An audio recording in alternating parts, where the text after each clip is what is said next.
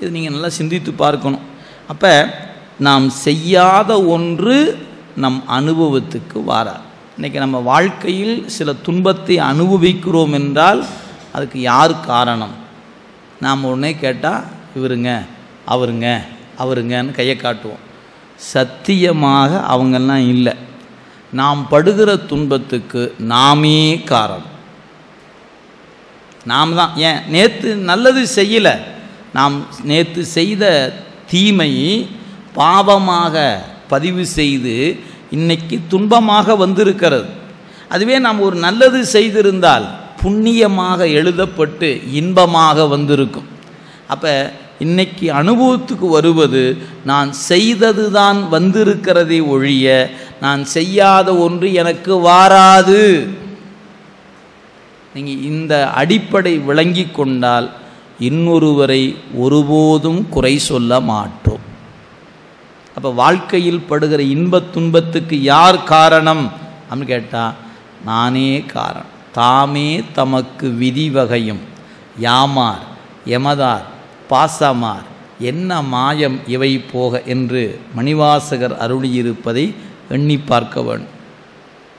சரி இப்போ ஒரு கேள்வி கேட்கலாம்.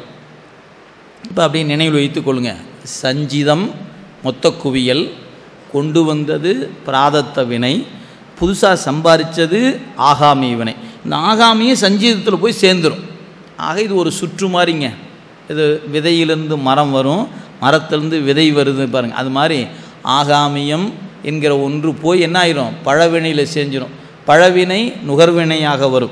நுகர்வினை செய்ய செய்ய புதிய வினை சம்பாதிப்பான். இப்படியே சுழன்று சுழன்று சுழன்று சுழன்று என்ன ஆகிட்டு இருக்குதுங்க?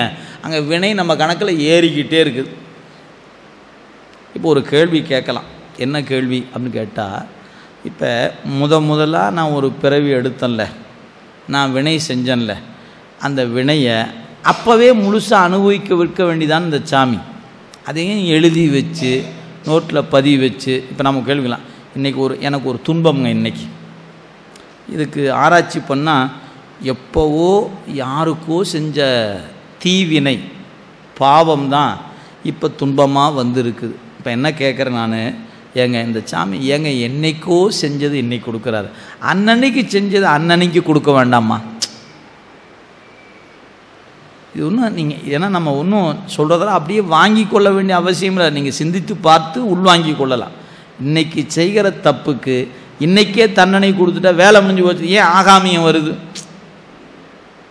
நான் செஞ்ச தப்புக்கு அன்னன்னைக்கு தண்டிக்க வேண்டியது தானே சரி இறைவன் இன்னைக்கிலிருந்து சட்டத்தை மாற்றுறான்னு வச்சுக்குவோம். ஒத்துக்குவோமா என்ன? ஏன்? இன்னையிலிருந்து அவங்கவுங்க செய்கிற தப்புக்கு அன்னன்னைக்கே தண்டனை உண்டுன்னா தப்பிக்கிறதுக்கு என்ன வழி பார்க்குறோமோ அதை தான் பார்ப்பேன். சாமி தயவு செய்து ப்ளீஸ் எதாக இருந்தாலும் அப்புறம் பார்த்துக்கலாம். இப்போ என்ன எதுவும் பண்ணாதீங்க தயவு செய்து. ஏன்? கொஞ்சம் நல்லா போயிட்டுருக்குது. நீங்கள் வேற போய் இந்த வினை கொடுக்குற கொடுத்து என்னை மறுபடியும் துன்பப்படுத்திடுறாங்க. கொஞ்சம் பெண்டிங்கில் போடுங்க அப்புறம் பார்த்துக்கலாம். இது இதாங்க அறிவினுடைய லட்சணம். நீங்கள் இன்றைக்கி செஞ்சது இன்றைக்கே கொடுக்குறோன்னு சொன்னால் ஏற்றுக்கொள்கிற மனப்பக்குவம் நமக்கு வாரார் நம்ம நம்ம நெஞ்சு மேலே கை வச்சு சொன்னால் என் நினைவு தெரிந்த நாளில் இருந்து நான் செய்த பாவத்தையும் அல்லது புண்ணியத்தையும் இறைவன் இந்த பிறவியிலே எனக்கு கொடுக்கட்டும். நான் ஏற்றுக்கொள்கிறேன் சொல்லுகிற தைரியம் எத்துணை பேருக்கு இருக்கும். ஏன்? கடந்த காலத்தை அப்படியே கொஞ்சம் பின்னோக்கி பார்த்தோம்னா தெரியும். அப்படியே அவ்வளோ செஞ்சோமே அவனை அப்படி பண்ணமே அவனை இப்படி பண்ணியிருக்கிறோமே அதெல்லாம் இந்த சாமி கொடுத்துனா என்னத்துக்கு ஆகிறது நமக்கு? எனவே வேண்டாம் வேண்டாம் இது எப்படியாவது வை பார்ப்போம். ஏன்? முதல்ல வச்சிருவோம் அப்புறம் தள்ளுபடிக்கு ஏதாவது வாய்ப்பாக இருந்தால் பார்த்துக்கலாம். அப்படின்னு நினைப்பமே ஒழிய நான் அனுபவிக்க தயாராக இருக்கிறேன் என்கிற நினைப்பு தொண்ணூற்றி ஒன்பது விழுக்காடு ஒருத்தருக்கும் மாறாதுங்க. அதனால தான் பெருமான் பார்த்தாரு இந்த உயிர்களுடைய திருத்தம் என்பது அந்தந்த பிறவி செய்து அததுக்கே கொடுக்க முடியாது. சிலவற்றை அப்போவே கொடுப்பார். சிலவற்றை பொறுத்திருந்து கொடுப்பார். அது எது போலன்னு கேட்டிங்கன்னா நீங்கள் செய்கிற வினையை பொறுத்து. கீரையை விதைச்சா ஒரு வாரத்தில் பயன் விளையும். இல்லைங்களா? நெல்லை விதைச்சா மூணுலேருந்து ஆறு மாதத்துக்குள்ளே பயன் விளையும். தென்னை மரத்தை வச்சா அஞ்சு வருஷம் ஆகும் பயன் தருவதுக்கு. அதுக்கு மேலே பனை வச்சிங்கன்னா உங்கள் தலையே காணாமல் போய் அடுத்த தலைமுறைக்கு பயன் தரும். எல்லாம் விதை தான் ஆனால் பயன் தருவது என்ற காலம் ஒன்று இருக்குது பாருங்கள் அது மாதிரி செய்கிற வினை கீரை போல் செஞ்சிங்கன்னா அப்போவே வரும். இல்லைங்களா? அதுவே நெல் போல் செஞ்சால் ஒரு மூணு மாதத்தில் வரும். கொஞ்சம் நமக்கு தென்னை போல் செஞ்சால் அஞ்சு வருஷத்தில் வரலாம். இல்லை ஆயிற்காலமே போயிடும் அடுத்த பிறகு வரலாம். இது வினையின் வகை. நீங்கள் மென்மை வன்மையை பொறுத்து அப்பொழுது வருவதும் உண்டு பின் வருவதும் உண்டு. எனவே நீங்கள் வினையை பற்றி ஆராய்ச்சி பண்ணிங்கன்னா நீங்கள் ஒரு வாரம் என்ன பண்ணலாம்? சும்மா லேசாக தெரிஞ்சுக்கலாமே ஒழிய நீங்கள் முற்றிலும் விளங்கி கொள்வதற்கு நமக்கு அறிவு போதாதுங்க. நம்ம என்ன தெரிஞ்சுக்கணும்? நீங்கள் வினையை பற்றி தெரிந்து கொள்வதில் ஒன்றை மட்டும் உறுதியாக தெரிந்து கொள்ளுங்க. நீங்கள் செய்யாத ஒன்றை இறைவன் ஒருபோதும் உங்களுக்கு அனுபவப்படுத்த மாட்டான். நம்ம ஆசிரியரிடத்திலும் நம்முடைய கம்ப்யூட்டரில் வேணால் பேப்பர் மாறி போச்சு. கூட்டலில் மிஸ்டேக் வந்துருச்சு. இதெல்லாம் நமக்கு தான் ஏற்படும். இறைவன் கம்ப்யூட்டரில் ஒருபோதும் நீங்கள் செஞ்ச புண்ணியத்தை அடுத்தவங்க தலையிலையோ இல்லை அடுத்தவன் செஞ்ச பாவத்தை உங்கள் தலையிலையோ ஒருபோதும் கட்ட மாட்டான். முதல் நல்லா தெளிவு பண்ணி வச்சுக்கணும். ஏன்? நமக்கெல்லாம் என்ன தெரியுமா நினைப்புங்க? நான் ரொம்ப நல்லவன். இந்த பெரியவங்க என்னமோ பண்ணி வச்சுட்டாங்களாம். அதுதாங்க இந்த பாடுபடுத்துது நம்மளை.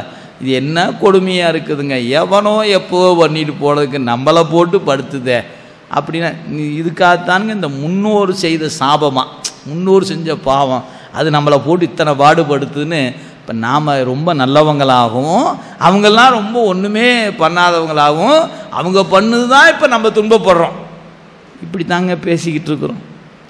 எனவே நாம் செய்யாத ஒன்று நமக்கு வாராது. நல்லா நினைவில் வைத்து கொள்ளுங்க. அது தவறான புரிதல். எனவே நீங்கள் செய்தது தான் உங்களுக்கு வரும். நாம் செய்யாதது ஒருபோதும் நமக்கு வாராது. அப்படி அப்படி சொன்னால் சங்க இலக்கிய கூற்று பொய்யா போயிடும். தீதும் நன்றும் பிறர் தர வாரா என்கிற சொல் பொய்யா போயிடும். பிறர்க்கின்னா முற்பகல் செய்யும் தமக்கின்னா பிற்பகல் தாமே வரும் என்கிற உலக பொதுமறையின் வாக்கு பொய்யாகிவிடும். இதெல்லாம் அருளாளருடைய வாக்கு சத்திய வாக்கு. அதில் பொய்க்கு இடமில்லை. எனவே நாம் விளங்கி கொள்வதில் தான் கொஞ்சம் தடுமாற்றம் இருக்கிறது. எனவே நாம் தெரிந்து கொள்ள வேண்டிய ஒன்றே ஒன்று நாம் செய்யாததை இறைவன் நமக்கு தரமாட்டான். செய்ததைத்தான் தருவான். அப்போ நம்ம ஒரு துன்பம் வந்தால் என்ன நினைக்கணும்? ஐயோ இவ்வளோ பெரிய துன்பமாக இருக்குதே. இந்த துன்பத்துக்கு மூலமாக நான் ஒரு பெரும் துன்பத்தை யாருக்கோ எப்போவோ செய்திருக்கிறேன் என்று நினைந்து ஒரு நிமிடம் இறைவனை நினைத்து இறைவா நான் எந்த குற்றத்தை எந்த உயிருக்கு செய்திருந்தாலும் என் பிழை பொறுத்து எனக்கு அருள வேண்டும் என்று நீங்கள் நினச்சிங்கன்னா நெஞ்சு பிசைந்து கண்களை கண்ணீர் வந்துருங்க. கடவுளே என்னை மன்னிக்க வேண்டும் என்று வேண்டிக் கொண்டால் அவன் அந்த துன்பத்திலே இருந்து அதிலிருந்து வெளியே வருவதற்கான வாய்ப்பை தருவான். ஏன்? திருந்திய பிறகு தண்டிப்பது குற்றம்ங்க. திருந்தாதவனை திருந்தும் வரை தண்டிக்க வேண்டும். அவன் திருந்தவே இல்லைன்னா தூக்குலேயே போடு தப்பே இல்லைங்கிற சட்டம். ஆனால் திருந்துவதற்கு ஒரு வாய்ப்பு இருக்குமானால் அவனுடைய நன்னடத்தையில் அவனுக்கு ஒரு நல்ல ஒழுக்கம் இருக்கிறது. தான் செய்த தவறுக்கு வருந்துகிறான் என்று சொன்னால் தண்டனையை குறைக்கவும் தண்டனைந்து வெளியே வருவதற்கும் சட்டம் இடம் கொடுக்கிறதல்லவா? நம்மால் வகுத்த சட்டத்திலேயே இவ்வளவு இடம் இருக்குமானால் கருணையே வடிவமானவன் அமைத்திருக்கிற சட்டம் அல்லவா நம்ம பேருக்கு என்ன தெரியுமா? இந்திய தண்டனை சட்டம்னு பேர். இறைவனுடைய சட்டம் தண்டனை சட்டம் இல்லைங்க கருணை சட்டம் அது. அவன் கருணையினால் தான் விதிமுறைகளை வகுத்து கொடுத்திருக்கிறானே ஒழிய வேறொன்றும் இல்லை. எனவே நம்முடைய சட்டத்தை காட்டிலும் ஆயிரம் ஆயிரம் மடங்கு கருணை அவன்பால் நம் மீது இருக்கிறது. சட்டத்துக்கே நம்ம மேலே கருணை இருக்குதுன்னு பார்க்குறோம். அது நம்ம அறிவால் வகுத்த சட்டம். நம்முடைய அறிவில் வகுத்த சட்டத்திலேயே இவ்வளவு வாய்ப்பு தராங்க. ஒரு குற்றவாளிக்கு எவ்வளோ வாய்ப்பு தராங்க பாருங்கள் ஜனாதிபதிகிட்ட மனு செய்யலாம் த தூக்கு தண்டனை ஆயுள் தண்டனையாக குறைக்கலாம் ஆயுள் தண்டனையிலிருந்து நன்னடத்தை காரணமாக அதையும் குறைக்கலாம் ஒரு நாளில் விடுதலையும் செய்யலாம். தனி சட்டம் சொல்லுது. அப்போ இறைவன் இதெல்லாம் செய்ய மாட்டானா என்ன? நிச்சயமாக செய்வார் ஆனால் என்ன இருக்கணும்? நாம் செய்த செயலுக்கு வருத்தம் நம்மிடத்தில் இருக்கணும். ஏன்? அந்த வருத்தம் வந்து விட்டால் திருத்தம் வந்துவிடும். வருந்தாதவன் ஒருபோதும் திருந்த மாட்டான். வருந்தி விட்டால் திருத்தம் அந்த நிமிடத்திலிருந்து தொடங்கிவிடும்.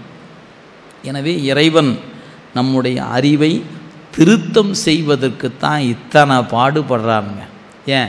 இந்த அறியாமைக்குள்ளே கிடந்து நாம் எவ்வளவோ துன்பங்களை செய்திருக்கிறோம் பிற உயிர்களுக்கு. அந்த அந்த நிலையை இந்த உயிர் நினைந்து நினைந்து பார்த்து இனி என் மனதாலும் பிறருக்கு தீங்கு நினைக்க மாட்டேன். என் சொல்லாலும் பிறருக்கு தீங்கு சொல்ல மாட்டேன்.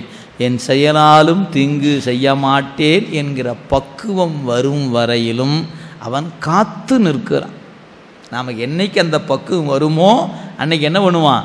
தம்பி இனி இந்த உலகம் உனக்கு வேண்டாம். நீ என்பால் வந்துவிடு என்று அரவணைத்து தன் திருவடி கீழ் கொண்டே வச்சுக்குவோம் அது வரணுமே நமக்கு. அது வருவதற்குத்தான் இத்துணை பாடுகளை அந்த இறைவன் நம்பொருட்டு செய்துக்கிட்டே இருக்கிறாருங்க. இதான் நிலை. இப்போ கண்மத்தில் நாம் தெரிந்து கொள்ளக்கூடியது தான் எனவே பழவினை நுகர்வினை ஆகாமிய வினை இது மூணும். இந்த ஆகாமிய வினை என்பது சஞ்சீதத்தில் போய் சேரும். சஞ்சிதம் பிராதத்தமாக வரும். பிராதத்தமாக வரும்பொழுது இதை பற்றி இன்னும் சில குறிப்புகள்லாம் உண்டு. அது பாட்டு நமக்கு சித்தியார் பாட்டு வரும்போதே அங்கேயே விரிக்கப்படுது. நாம் சொல்லியிருப்பெல்லாம் தலைப்புச் செய்தி மாதிரி சில செய்தி தான் சொல்லியிருக்கிறேன். பிறகு நாம் விரிவாக பார்த்து கொள்ளலாம். இந்த இடத்துல மட்டும் ஒரே ஒரு உதாரணம் சொல்கிறேன் விளங்கி கொள்வதற்காக. அதாவது சமண சமயம் பௌத்த சமயம். இந்த ரெண்டும் நம் தமிழகத்தில் குறிப்பாக இந்தியா முழுக்க பரவி இருந்த சமயம். இரண்டாம் நூற்றாண்டில் இருந்து ஏழாம் நூற்றாண்டு வரை ஐநூறு ஆண்டு காலம்ங்க.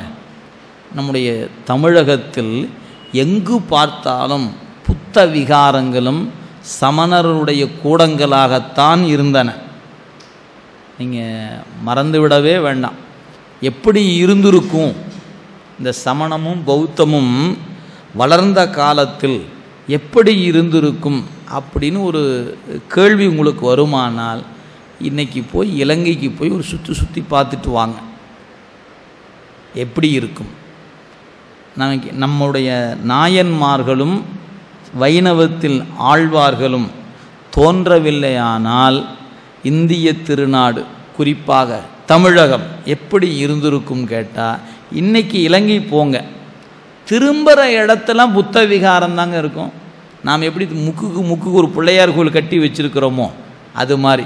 இன்னும் சில இடங்களில் கிறித்துவ தலங்களுக்கெல்லாம் போனீங்கன்னா தெரியும். அவங்க மிகுதியாக இருக்கிற இடத்துல தெருவுக்கு தெருவு நீங்கள் விளையா பிள்ளையாரை வச்சுருக்க மாதிரி வீட்டு வாசலில் அப்படியே சின்ன சின்ன சின்ன சின்ன சின்ன சின்ன குறியீடுகளாக வைத்து கொண்டு இருப்பதை நீங்கள் பார்க்குறோம். இது போன்ற நிலை தான் இந்த தமிழகத்தில் இருந்திருக்கும். இன்னைக்கு நாயன்மார்கள் வந்து இந்த மண்ணில் அவதரிக்காது போயிருந்தால் இந்த தமிழகம் என்ன ஆயிருக்கும்னு கேட்டிங்கன்னா நாம் எல்லாம் சமணராகவோ அல்லது புத்தராகவோ தான் இருந்திருப்போம். இந்த நிலையை மாற்றி கோயிலையும் நம் தமிழையும் தந்தவர்கள் நம் நாயன்மார்கள். அதனால தாங்க கோயிலில் கொண்டாந்து அவங்கள வச்சுருக்கிறோம். இல்லைன்னா கோயிலில் வைக்க வேண்டிய அவசியம் நமக்கு இல்லை. ஏன் கோயிலுக்குள்ளே கொண்டாந்து அறுபத்தி மூறையும் வச்சுருக்கிறோம்? அவங்க தான் இந்த கோயிலை காப்பாற்றி கொடுத்தவர்கள். அவங்க ஊர் ஊராக சென்று பாடல் பாடி மக்கள் உய- துயரத்தை தீர்த்ததனால்தான் இன்னைக்கு கோயிலும் கிடைத்திருக்கிறது. நம்முடைய அடையாளமும் நமக்கு கிடைத்திருக்கிறது. அத்தகைய பெருமக்கள். இப்போ அவங்க சமணத்தின் கோட்பாடும் ஏறத்தாழ பௌத்த சமயத்தின் கோட்பாடும் என்ன அப்படின்னு கேட்டிங்கன்னா இந்த நான் இவங்க இப்போ நீங்கள் ஒரு இடம் விளங்கிக்கணும். கடவுள் இல்லை என்று சொல்லக்கூடிய ஒரு பிரிவினர் இருக்கிறாங்க. அவங்களுக்கு நாம் ஒரு பேர் சொல்லுகிறோம். ஆனால் நூல் என்ன பேர் சொல்லுகிறது? உலகாயதன் என்று பெயர்.